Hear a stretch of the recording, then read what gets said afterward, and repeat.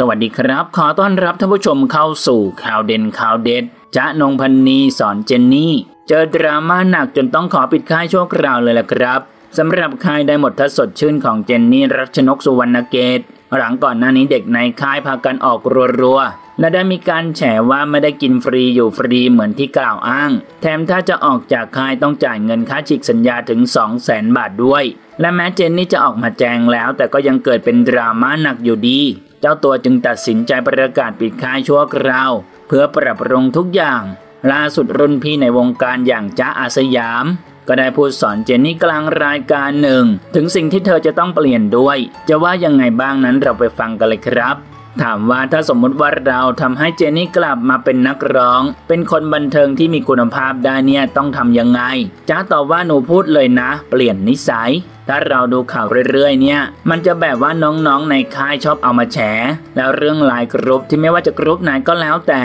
ใน Facebook อีกต่างหาก cap มาหมด หลังบ้านมีเยอะกว่านั้นอีก เพราะฉะนั้นเจนนี่เชื่อพี่จ๊ะนะลูก หนูปิดปรับปรุงได้เหมือนปรับปรุงความคิดตัวเองด้วย แล้วหนูก็มาคิดว่าหนูจะทำค่ายเป็นธุรกิจไหม ถ้าทำเป็นธุรกิจหนูร่างสัญญาให้ชัดเจน ถ้าหนูจะทำเพื่อให้หนูต้องให้จริง ๆ ถ้าน้องดูพี่จ๊ะอยู่น้องก็รู้ว่าอะไรที่น้องไม่ชัดเจน หนูก็ไปปรับปรุงแค่นั้นเองลูก เพราะพี่จ๊ะบอกเลยนะว่า จุดที่หนูยืนอยู่ลูกทุ่งเนี่ย คนที่เป็น center เนี่ยหนูเนี่ย center ที่สุดแล้ว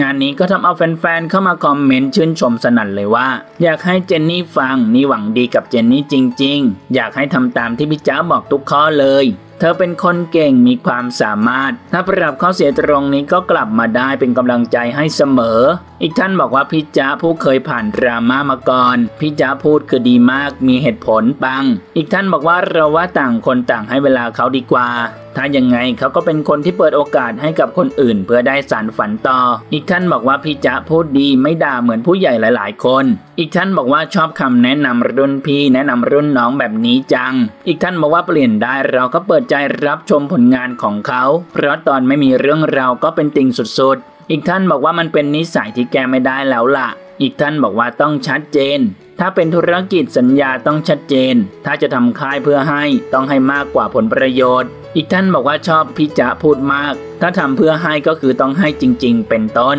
ทำเอาหลายคนเข้ามาชื่นชมรัวๆเลยครับ เพราะหลายคนมองว่าจะสอนดีและมีเหตุผลมาก ซึ่งหลายคนก็บอกเลยว่าเจนนี่ปรับปรุงตัวเอง และทำทุกอย่างให้ชัดเจนจริง ก็พร้อมที่จะกลับมาสนับสนุนผลงานของค่ายได้หมดถ้าสดชื่นตามเดิม ท่านผู้ชมล่ะครับ มีความคิดเห็นอย่างไรกับเรื่องนี้ลองแสดงความคิดเห็นกันเข้ามาดูนะครับ ขอขอบคุณข้อมูลจากขอบข่าวขอบคุณครับ